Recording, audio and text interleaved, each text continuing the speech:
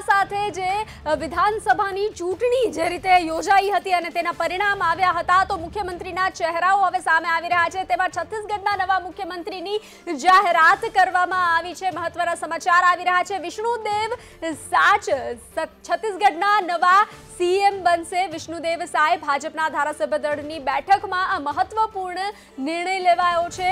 તો છત્તીસગઢમાં મુખ્યમંત્રીના ચહેરાની જાહેરાત કરવામાં આવી છે. ભાજપ ધારાસભ્ય દળની બેઠકમાં આ મહત્વપૂર્ણ નિર્ણય લેવામાં આવ્યો છે. છત્તીસગઢના નવા મુખ્યમંત્રીની જાહેરાત થઈ ચૂકી છે. છત્તીસગઢમાં ભાજપે આદિવાસી ચહેરાને પ્રાધાન્ય આપ્યું છે. તો છત્તીસગઢમાં ભાજપે આદિવાસી ચહેરાને પ્રાધાન્ય આપ્યું છે અને નવા સીએમની જાહેરાત કરવામાં આવી છે. છત્તીસગઢના નવા મુખ્યમંત્રીની જાહેરાત કરવામાં આવી છે. જે રીતે વિધાનસભાની ચૂંટણીના પરિણામો જાહેર થયા હતા તેને લઈ અને મુખ્યમંત્રીના ચહેરાઓ જાહેર કરવામાં આવી રહ્યા છે. તેમાં વિષ્ણુદેવ સાય છત્તીસગઢના નવા સીએમ તરીકે તેમના નામની જાહેરાત કરવામાં આવી છે. ભાજપ ધારાસભ્ય દળની બેઠકમાં આ મહત્વપૂર્ણ નિર્ણય લેવામાં આવ્યો છે. છત્તીસગઢમાં ભાજપે આદિવાસી ચહેરાને પ્રાધાન્ય આપ્યું છે. જે રીતે વાત થઈ રહી હતી કે એક મહિલા ચહેરાને પ્રાધાન્ય આપવામાં આવશે, આદિવાસી ચહેરાને પ્રાધાન્ય આપવામાં આવશે, ઓબીસી ચહેરાને પ્રાધાન્ય આપવામાં આવશે, તો તેમાં છત્તીસગઢમાં આદિવાસી ચહેરાને પ્રાધાન્ય આપવામાં આવ્યું છે. અને છત્તીસગઢના નવા મુખ્યમંત્રીની જાહેરાત કરવામાં આવી છે. વિષ્ણુદેવ સાય ના નામની જાહેરાત કરવામાં આવી છે. છત્તીસગઢના નવા સીએમ તરીકે તેઓનું નામ જાહેર કરવામાં આવ્યું છે.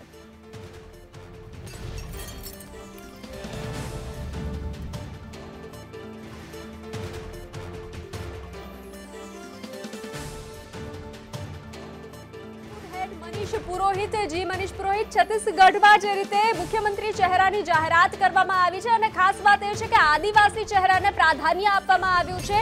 શું કહેશો? બનતી ખૂબ મોટી વાત અહીંયા છે કે લાંબી મથામણ બાદ ભારતીય જનતા પાર્ટીએ પોતાનો ચહેરો જાહેર કરી દીધો છે. પ્રધાનમંત્રી મોદીની ટીમમાં જેમણે કામ કર્યું છે, વિષ્ણુદેવ સાઈ નામ છે એમનું અને આદિવાસી ચહેરા તરીકે જાણીતા અને સાથે સાથે સામાન્ય માણસની પીડામાં પીડા અનુભવતા હોસ્પિટલમાં લોકોને મદદ કરાવવા માટે જાણીતા છત્તીસગઢના લોકો માટે તેઓ હંમેશા એવું કહેવામાં આવે છે કે હંમેશા તત્પર રહેનારો એક નેતા સામાન્ય માણસ સાથે જોડાયેલો બે હજાર સોળમાં કેન્દ્રીય રાજ્યમંત્રી રહી ચૂક્યા છે. તેઓ બે હજાર ચૌદમાં ચૂંટાયા હતા પહેલી વખત અને ત્યારબાદ બે હજાર નવમાં પણ. એ પહેલા પણ જ્યારે સાંસદ રહ્યા છે બે હજાર સાતમાં પણ તેઓ રાજ્ય સ્તરે મંત્રી રહ્યા છે. એક લાંબો રાજકીય અનુભવ ધરાવે છે તેઓ અને ખૂબ લાંબા સમયના મથામણ બાદ ભારતીય જનતા પાર્ટી એમના ચહેરા પર આજે માહોલ ઢોળી છે. બનશે જી મનીષ જોડાયા તે બદલ આપનો આભાર.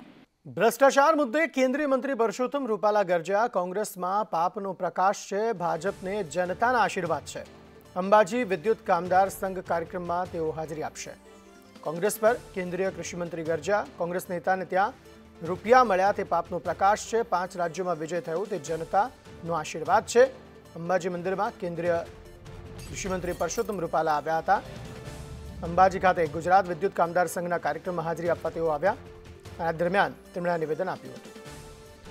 આ તરફ કમિશન મુદ્દે અદાણી સીએનજી પંપ માલિકોએ બાયું ચઢાવી છે. આજે ઓફિસ સુધી, અદાણીની ઓફિસ સુધી પદયાત્રાની ચીમકી તમામ પંપ ધારકોએ ઉચ્ચારી છે. આ ઉપરાંત પંદર ડિસેમ્બરે સીએનજી પંપ બંધ રાખવાની પણ, બંધ રાખીને વિરોધ કરવાની ચીમકી ઉચ્ચારી. કમિશન વધારાની માંગ સાથે દેખાવો અને રેલી યોજવામાં આવશે તેવું નક્કી કરાયું છે. પંપ ધારકો કહી રહ્યા છે કે અન્ય સીએનજી કંપનીની જેમ કમિશન તેમને આપવામાં આવે કારણ કે સાબરમતી અને ગુજરાત ગેસ કરતા અદાણીનો ભાવ ચાર રૂપિયા વધારે છે. ગ્રાહકો અને પંપ ધારકોનું શોષણ થતું હોવાનો આક્ષેપ કરવામાં આવ્યો. અમદાવાદમાં એસઆરપી જવાન સામે છેતરપિંડીની ફરિયાદ નોંધાઈ. ગ્રુપ સાતમાં ફરજ બજાવતા હોવાનું કાર્ડ આપી કાર મેળવી હતી. ગુજરાત પોલીસનું આઈ કાર્ડ બતાવી યુવક કાર લઈ ગયો હતો. કારમાં જીપીએસ હોવાથી કાર ટ્રેક કરતા કાર મળી આવી. રામુલ પોલીસે છેતરપિંડીની ફરિયાદ નોંધી વધુ તપાસ હાથ ધરી છે.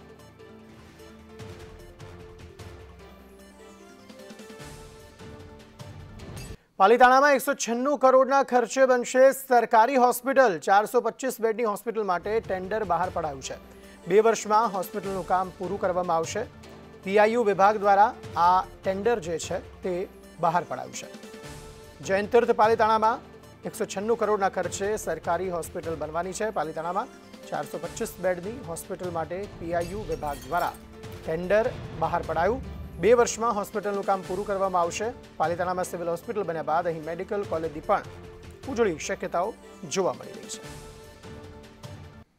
સુરતના કોસંબા હાંસોટ રોડ પર અકસ્માત થયો છે. કોસંબાનું કપલ ફિલ્મ જોવા માટે સુરત ગયું હતું. ત્યારે સુરતથી પરત ફરતી વેળાએ પંડવાઈ શુગર નહેર પાસે અકસ્માત થયો. રોડ પર ભૂંડનું ઝુંડ આવી જતા સ્ટેરિંગ પરથી કાબુ ગુમાવતા કાર નહેરમાં ખાબકી હતી. અને ડ્રાઇવિંગ કરતો હરદીપસિંહ વશી બહાર નીકળી ગયો. પત્નીને બચાવવાનો પ્રયત્ન કર્યો, પરંતુ ભારે પાણીના વહેણને કારણે કાર પાણીમાં તણાઈ ગઈ.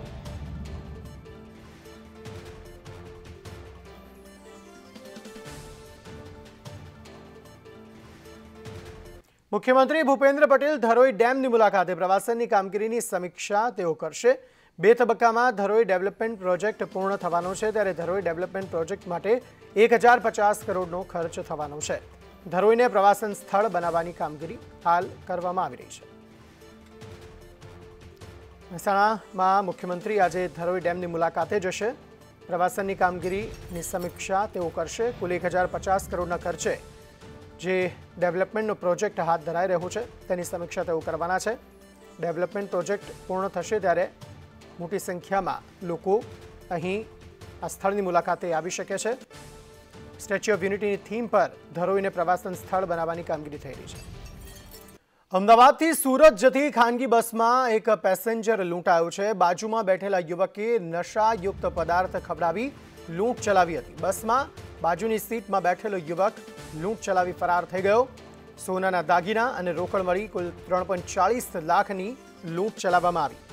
નશાયુક્ત બિસ્કિટ ખાતા બે દિવસ બાદ હોશ આવ્યો હતો. ગુરુવારે ભત્રીજાના લગ્ન માટે સુરત જતી વખતે લૂંટ થઈ હતી. સમગ્ર મામલે નિકોલ પોલીસ મથકે ફરિયાદ નોંધાઈ છે.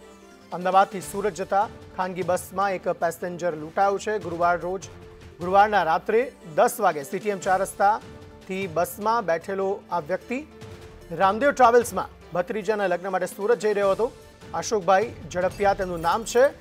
બસમાં બાજુની સીટમાં બેઠેલા આશરે ચાલીસ વર્ષીય યુવકે નશાયુક્ત પદાર્થ ખવડાવીને તેમને લૂંટી લીધા. અશોકભાઈ બેભાન થતા નિકોલની સરદાર હોસ્પિટલમાં દાખલ કરવામાં આવ્યા હતા.